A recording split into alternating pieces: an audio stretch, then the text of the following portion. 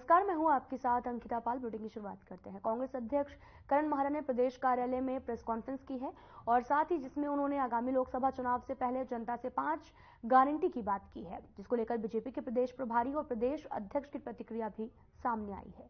BJP के प्रदेश प्रभारी दुष्यंत गौतम ने भी कहा कि जो मोदी जी बोलते हैं, वह गारंटी भी गारंटी है। और जो गारंटी दे रहे हैं, वे सबसे पहले हिमाचल, कर्नाटक और तेलंगाना में करके दिखाएँ। उसके बाद ही वे जनता को बताएँगे और इसके साथ ही बीजेपी प्रदेश अध्यक्ष वैन भट्ट ने कांग्रेस द्वारा जनता को बताई जा रही पाँच गारंटी का भी कहा कि कांग्रेस को पहले अपनी पार्टी को बचाने के लिए गारंटी जनता को देनी चाहिए।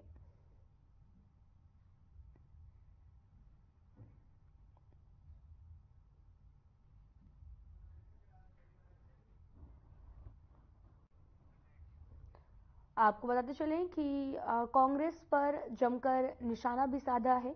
महारा का वार और बीजेपी ने भी पलटवार किया है। दरअसल मोदी की गारंटी की भी गारंटी है। उन्होंने कहा कि मोदी जी जो गारंटी देते हैं, उसकी भी वो गारंटी देते हैं कि वो अपनी गारंटी को पूरा करेंगे। कांग्रेस पर उन्होंने जमकर निशाना भी साधा। साथ ही महारा का वार पर जो है, वो बीजेपी ने पलटवार भी किया है। आप तस्वीरें भी देख सकते हैं। जो कि जहाँ पर सीएम धामी भी मौजूद हैं। और साथ ही आपको बताते चले कि लगातार लोकसभा चुनाव नज़दीक हैं जिसको लेकर सभी पार्टियाँ अपने दमखल दिखाने के लिए लगातार जनता के बीच जा रही हैं। गारंटी दे रहे जनता को जो स्थिति आज पूरे प्रदेश के अंदर हो रही है इसलिए इसमें मुझे कुछ कहना नहीं है। कांग्रेस की गारंटी के बारे में पूरे देश को पता है। मोदी जी बोलते हैं वो गारंटी की भी गारंटी है। और जो बोल रहे हैं उनसे बोलो जरा हिमाचल में करके दिखाएँ, कर्नाटक में करके दिखाएँ, तेलंगाना में करके दिखाएँ, फिर जाके जनता को बताएँ।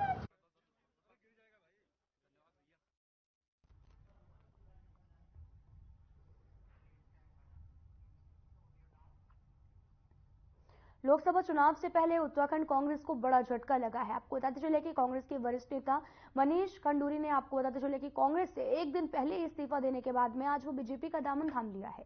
सीएम पुष्कर सिंह धामी, बीजेपी प्रदेश प्रभारी दुष्यंत कुमार गौतम, बीजेपी प्रदेश अध्यक्ष महेंद्र भट्ट की उपस्थिति में उन्होंने बीजेपी का दामन थामा है। मनीष खंडूरी ने प्रेस कॉन्फ्रेंस भी की और कहा कि वे प्रधानमंत्री नरेंद्र मोदी के कार्यों से काफ़ी ज़्यादा प्रभावित हैं, जिसकी वजह से उन्होंने बीजेपी को ज्वाइन किया है।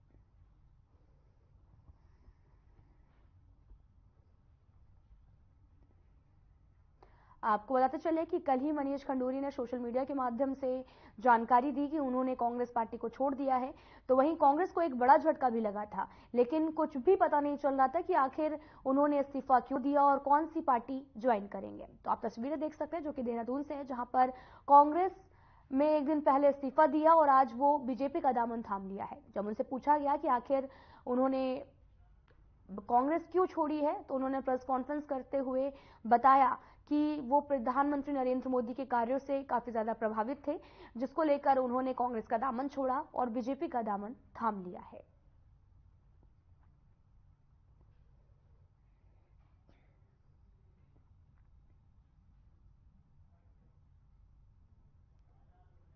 देखिए, मैं ऐसे इन सवालों में नहीं जाऊँगा। आप देखिए नाम ना तो मुझे 19 में टिकट की चाह थी। अगर मुझे 22 में अगर टिकट भी मिल रहा था अगर मैं विधानसभा का चुनाव में लड़ना चाह रहा था। और जहाँ तक यहाँ की बात मैं छोटी बात या ऊँची बात नहीं करूँगा। जिसको पता है टिकट का क्या होने वाला था उसको पता। है तो पॉलिटिकल फ्यूचर किस तरह से देखते हैं? क्योंकि बड़ी विरासत रही है जी यहाँ पर। किस तरह से देखते हैं? मैं आपको ये स्पष्ट बताना चाहूँगा कि ये आ, मेरे पिताजी भारतीय जनता पार्टी ने हमारे परिवार के पर बहुत एहसान किया। पिताजी को उन्होंने दो बार मुख्यमंत्री बनाया है। मेरी बहन को विधानसभा अध्यक्षा बनाया है। मैं सिर्फ़ एक कार्यकर्ता के माध्यम से मैं काम करना चाहता हूँ, कहीं भी पार्टी काम देगी। मैंने पहले भी बोल रखा है, मुझे कोई अभी भी बता रहा हूँ। ना कोई टिकट की चाहत है, ना कोई पद की चाहत है। देखिए, जनरल खनूरी जी का कार्यकर्ता निर्माण बहुत बड़ा योगदान रहा है। हम जैसे कार्यकर्ता जिस स्थान पर हैं, उसमें जनरल साहब का बहुत बड़ा योगदान है। इस प्रदेश के विकास में जनरल साहब के योगदान को भुलाया नहीं जा सकता है। और हमें बहुत खुशी है कि मनीष जी अपने परिवार में, मैं आज भी कह रहा हूँ, अपने परिवार में आप आए और आपका जो कार्य क्षेत्र है, वो व्यापक है। गौरी गढ़वाल से आप लोकसभा का चुनाव लड़ रहे हैं और मैं जानता हूँ, उस समय में भी आपने गाँव गाँव छान मारा और बड़ी संख्या में आपके साथ अनेकों लोग जुड़े धीरे धीरे आगामी कुछ दिनों के आप देखेंगे, बड़ी संख्या में कांग्रेस के ऐसे लोग, जो अच्छे लोगों की श्रेणी में आते हैं, उन सबको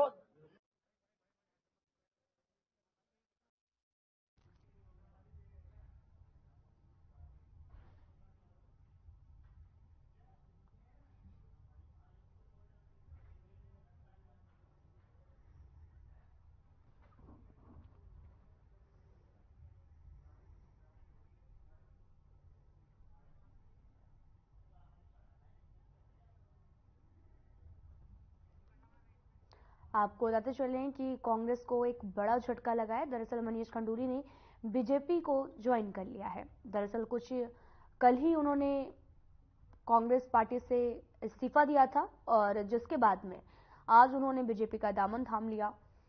उन्होंने साफ़ तौर पर कहा कि वो काफ़ी प्रभावित थे प्रधानमंत्री नरेंद्र मोदी की नीतियों से, जिसको लेकर वो बीजेपी में शामिल हुए हैं।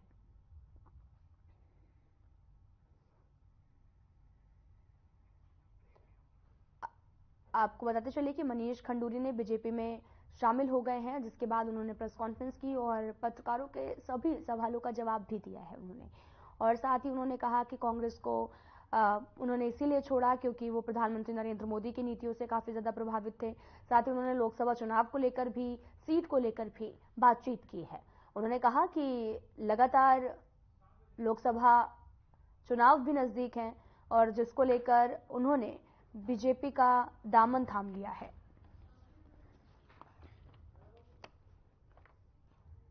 आपको बताते चले कि कांग्रेस से एक दिन पहले ही उन्होंने इस्तीफा दिया था और उसके बाद बीजेपी पार्टी ज्वाइन कर ली है। और उनके साथ सीएम धामी भी नज़र आ रहे हैं। आप तस्वीरें देख सकते हैं, जहाँ पर खुद पार्टी की सदस्यता सीएम धामी ने दिलाई है। सीएम पुष्कर सिंह धामी भी मौके पर पहुँचे और वहाँ पर पहुंचकर मनीष खंडूरी को बीजेपी में शामिल किया और साथ ही बीजेपी का पट्टा पहनाकर उनका पार्टी में स्वागत भी किया है।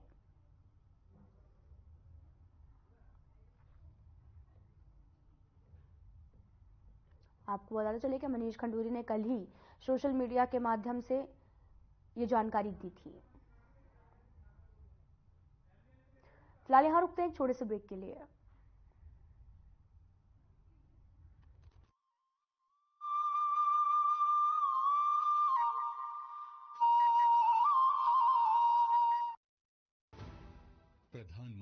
श्री नरेंद्र मोदी जी ने करोड़ों देशवासियों को दी है सम्मान पूर्वक और खुशहाल जीवन की गारंटी। आप ये भली भांति जानते हैं कि मोदी की गारंटी यानी गारंटी पूरा होने की गारंटी।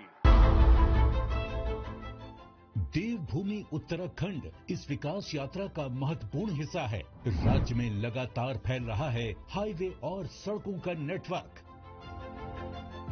दिल्ली देहरादून एक्सप्रेसवे से समय की बचत होगी और निवेश के रास्ते खुलेंगे। यानी मज़बूत अर्थव्यवस्था की गारंटी चार धाम ऑल वेदर रोड और चार धाम रेल लाइन से श्रद्धालुओं को मिली है सुरक्षित और सुगम चार धाम यात्रा की गारंटी।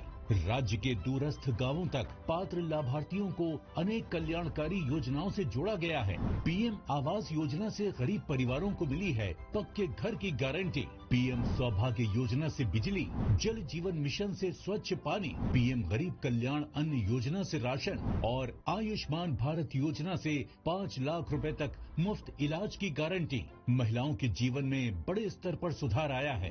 उज्ज्वला योजना से मिले मुफ़्त गैस कनेक्शन से धुआँ रहित ईंधन और लखपति दीदी योजना ने आर्थिक सशक्तिकरण की दी है गारंटी। पीएम किसान सम्मान निधि से साल में छह हज़ार रूपए की गारंटी। मोदी सरकार की गारंटी उसके पास भी है, जिसके पास गारंटी देने के लिए भी कुछ नहीं। पीएम स्वनिधि योजना से स्ट्रीट वेंडर और प्रधानमंत्री मुद्रा योजना से लघु व्यवसायियों को मिल रही है आसान कर्ज की गारंटी। हर वर्ग का हो रहा है कल्याण। सभी के लिए खुल रहे हैं खुशहाली के द्वार, क्योंकि हर उत्तराखंड वासी को मिली है मोदी सरकार की गारंटी।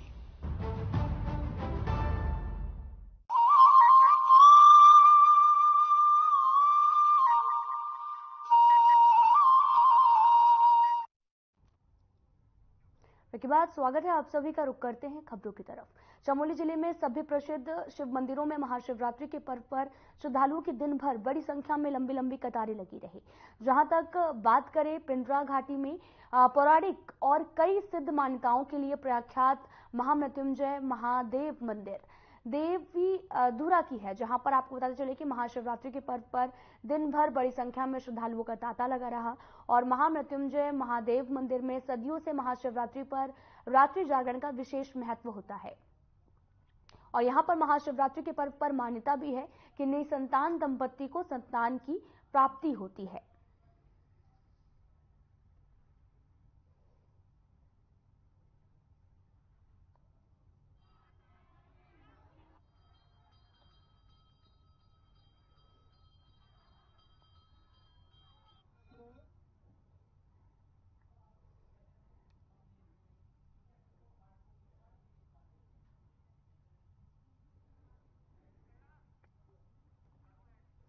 आपको बताते चलें कि महाशिवरात्रि के पर्व पर लगातार भक्तों का तांता लगा रहा। तो वहीं आपको बताते चले कि चमोली में महामृत्युंजय महादेव मंदिर का बड़ा ही महत्व है।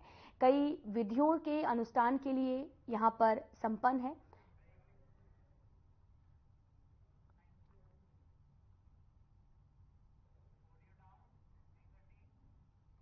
फ़िलहाल यहाँ रुकते हैं, एक छोटे से ब्रेक के लिए।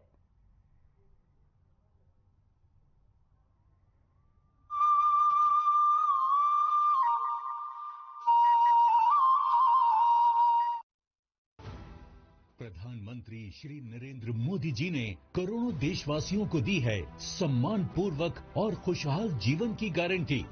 आप ये भली बात ही जानते हैं कि मोदी की गारंटी यानी गारंटी पूरा होने की गारंटी।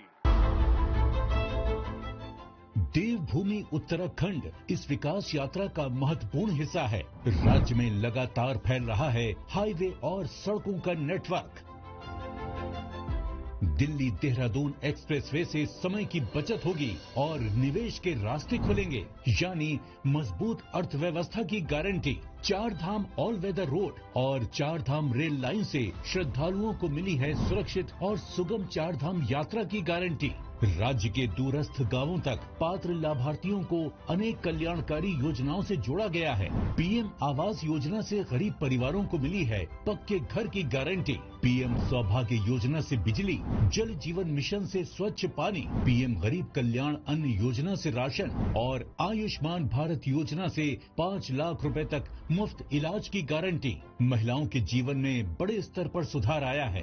उज्ज्वला योजना से मिले मुफ़्त गैस कनेक्शन से धुआँ रहित ईंधन और लखपति दीदी योजना ने आर्थिक सशक्तिकरण की दी है गारंटी। पीएम किसान सम्मान निधि से साल में छह हज़ार रूपए की गारंटी। मोदी सरकार की गारंटी उसके पास भी है, जिसके पास गारंटी देने के लिए भी कुछ नहीं। पीएम स्वनिधि योजना से स्ट्रीट वेंडर और प्रधानमंत्री मुद्रा योजना से लघु व्यवसायियों को मिल रही है आसान कर्ज की गारंटी। हर वर्ग का हो रहा है कल्याण। सभी के लिए खुल रहे हैं खुशहाली के द्वार, क्योंकि हर उत्तराखंड वासी को मिली है मोदी सरकार की गारंटी।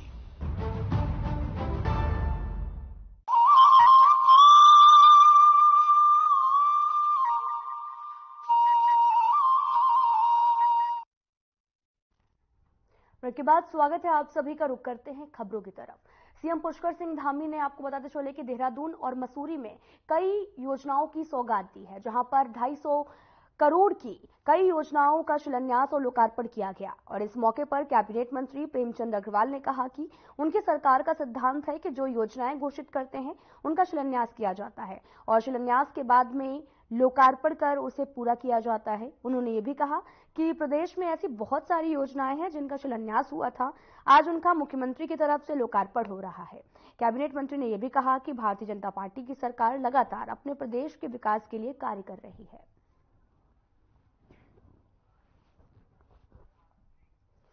आपको बताते चले कि सीएम पुष्कर सिंह धामी ने देहरादून और मसूरी को एक बड़ी सौगात दी है। आप तस्वीरें देख सकते हैं जहाँ पर सीएम धामी मौके पर पहुँचे थे। और कई योजनाओं का लोकार्पण और शिलान्यास किया। सिद्धांत बनाया है कि जो योजनाएँ हम लोग घोषित करते हैं तो उसका शिलान्यास भी करते हैं, जो शिलान्यास करते हैं, उसको पूरा करके लोकार्पण भी करते हैं। ऐसी बहुत सी योजना है जिसका आज माननीय मुख्यमंत्री जी द्वारा जो हमने पिछले दिनों शिलान्यास किया था, उनका आज यहाँ लोकार्पण हो रहा है। और सवाल लोकसभा का नहीं है, क्योंकि ये सतत चलने वाली प्रक्रिया है।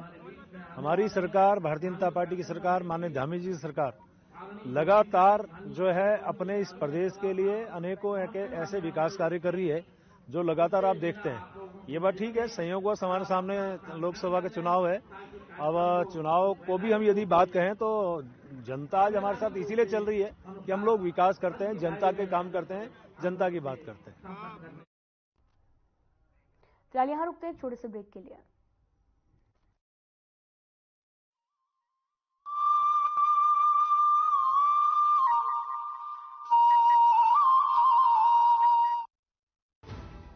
प्रधानमंत्री श्री नरेंद्र मोदी जी ने करोड़ों देशवासियों को दी है सम्मान पूर्वक और खुशहाल जीवन की गारंटी।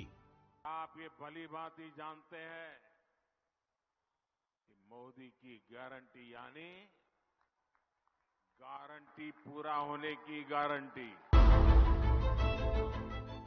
देवभूमि उत्तराखंड इस विकास यात्रा का महत्वपूर्ण हिस्सा है। राज्य में लगातार फैल रहा है हाईवे और सड़कों का नेटवर्क। दिल्ली देहरादून एक्सप्रेसवे से समय की बचत होगी और निवेश के रास्ते खुलेंगे, यानी मज़बूत अर्थव्यवस्था की गारंटी। चार धाम ऑल वेदर रोड और चार धाम रेल लाइन से श्रद्धालुओं को मिली है सुरक्षित और सुगम चार धाम यात्रा की गारंटी। राज्य के दूरस्थ गाँवों तक पात्र लाभार्थियों को अनेक कल्याणकारी योजनाओं से जोड़ा गया है। पीएम आवास योजना से गरीब परिवारों को मिली है पक्के घर की गारंटी। पीएम सौभाग्य योजना से बिजली, जल जीवन मिशन से स्वच्छ पानी, पीएम गरीब कल्याण अन्न योजना से राशन और आयुष्मान भारत योजना से पाँच लाख रुपए तक मुफ़्त इलाज की गारंटी। महिलाओं के जीवन में बड़े स्तर पर सुधार आया है। उज्ज्वला योजना से मिले मुफ़्त गैस कनेक्शन से धुआँ रहित ईंधन और लखपति दीदी योजना ने आर्थिक सशक्तिकरण की दी है गारंटी। पीएम किसान सम्मान निधि से साल में छह हज़ार रूपए की गारंटी। मोदी सरकार की गारंटी उसके पास भी है, जिसके पास गारंटी देने के लिए भी कुछ नहीं। पीएम स्वनिधि योजना से स्ट्रीट वेंडर और प्रधानमंत्री मुद्रा योजना से लघु व्यवसायियों को मिल रही है आसान कर्ज की गारंटी। हर वर्ग का हो रहा है कल्याण। सभी के लिए खुल रहे हैं खुशहाली के द्वार, क्योंकि हर उत्तराखंड वासी को मिली है मोदी सरकार की गारंटी।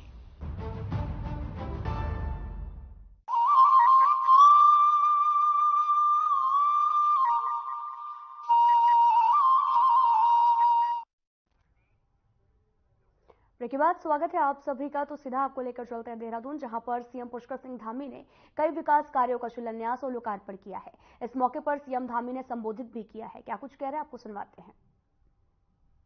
आदरणीय प्रेमचंद जी ने भी बताया कि सरकारें योजनाओं की जो न्यू तो रखती थी और चुनाव के बाद उन्हें करना भूल जाती थी, लेकिन हमारी सरकार जिन योजनाओं का भी शिलान्यास करती है उनका लोकार्पण भी करती है, क्योंकि हमारी सरकार हर क्षेत्र के संतुलित विकास पर हमने ध्यान केंद्रित किया है। चाहे शहरी क्षेत्र हो, चाहे ग्रामीण क्षेत्र हो, चाहे अर्ध सरकारी क्षेत्र हो, अर्ध शहरी क्षेत्र हो, हर क्षेत्र के विकास के प्रति हम संकल्पत है। हमारा ज़ोर है कि सबका संतुष्टिकरण होना चाहिए। तुष्टिकरण किसी का नहीं होना चाहिए।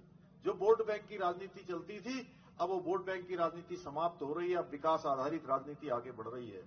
हमारे प्रधानमंत्री मोदी जी के नेतृत्व में डबल इंजन की सरकार न जाति का सहारा लेती है, न झूठ का सहारा लेती है। हम कर्म करने पर विश्वास करते हैं, हम जो भी कहते हैं, आपके आशीर्वाद से कहते हैं, आपके समर्थन के कारण से कहते हैं। और जो भी हम वादा करते हैं, उसे हर हाल में पूरा करके दिखाते हैं और आगे भी जो कहेंगे, उसे हर हाल में पूरा करके दिखाएँगे। भाइयों बहनों, आज आदरणीय मोदी जी के नेतृत्व में हमारा देश तेज़ी से आगे बढ़ रहा है। हर क्षेत्र में आगे बढ़ रहा है। सुरक्षा, आर्थिक समृद्धि, आस्था का सम्मान हो, आजीविका रोज़गार, स्वरोजगार हो, हरेक क्षेत्र में आज दुनिया भारत का दर्शन कर रही है। आज भारत के रुख का इंतज़ार हर एक मौके पर होती है। भारत की ताकत को, ये सब बातें जो दुनिया के अंदर आज हमारे काम है, हमारे प्रधानमंत्री जी के काम है, वो भारत को प्रतिष्ठित करने का काम कर रहे हैं। भारत को एक नई पहचान देने का काम कर रहे हैं। देश के विकास की तरह ही, आज देवभूमि उत्तराखंड का भी तेज़ी से विकास हो रहा है। तेज़ी से लोगों की धारणा बदली है उत्तराखंड के प्रति।